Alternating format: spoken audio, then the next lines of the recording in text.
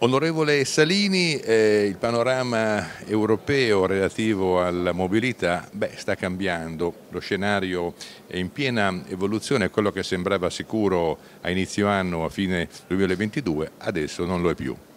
Sì, abbiamo tentato in tutti i modi di segnalare che per costruire una mobilità sostenibile ci vogliono tanti piccoli mattoncini perché la cattedrale risulti completa. Il primo mattoncino è considerare tutto il lavoro che è stato fatto per rendere sostenibile ciò che già abbiamo a nostra disposizione e che soprattutto può essere pagato dalle tasche dei cittadini. Quindi il motore a combustione interna non è un motore inquinante come in passato. Con le nuove tecnologie, con i nuovi motori, con i nuovi carburanti si può avere un approccio profondamente sostenibile e neutrale senza sradicare la vita dei cittadini. Considerando anche l'elettrico ovviamente. L'elettrico è una parte delle tante eh, soluzioni che abbiamo costruito. Non è certamente una soluzione contro la quale ci opponiamo. Noi ci opponiamo a chi ci dice che c'è un solo modo che c'è una sola soluzione tecnologica, che c'è solo un modello da seguire. Quando la politica ti impone il modello oltre agli obiettivi diventa un po' pericolosa.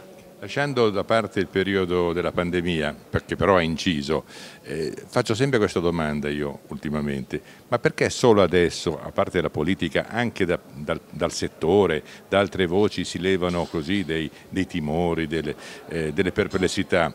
Fino a due anni fa sembrava che andasse tutto bene, fino a quando c'è il momento in cui la Commissione europea ha varato questo, per mio parere, eh, così, arrogante piano Fit for 55. Beh, eh, si è deciso, eh, più ci si è avvicinati alla scadenza eh, delle istituzioni, quindi in 2020, coraggio, diciamo. 2024, quindi con eh, la, la, la, scadenza che condurrà alle elezioni per il Parlamento, ma anche al rinnovo della Commissione, c'è stato un, eh, dire, un crescendo di messaggi particolarmente muscolari. Chi ha deciso di diventare muscolare raccontando una realtà che non esiste e che dovrebbe esistere perché è meglio di quella attuale e chi invece ha deciso, come noi stiamo tentando di fare, di fare appello magari anche in modo più, più vocale al buon senso, cioè a quella modalità non, non eh, troppo prudente, ma certamente molto più realistica, secondo la quale partendo dal basso verso l'alto si ottiene quello che sembra che qualcuno in Commissione abbia dimenticato, cioè che senza bisogno dei target di Timmermans e di nessun altro, nel tempo l'Unione Europea è diventata il continente più sostenibile al mondo. Badate che rinunciare al modello che ha portato al continente più sostenibile al mondo non è esattamente l'approccio più intelligente. Infatti, e le case automobilistiche intanto in questo periodo hanno investito e stanno investendo miliardi su miliardi. Secondo lei, onorevole, è una mossa un po' azzardata?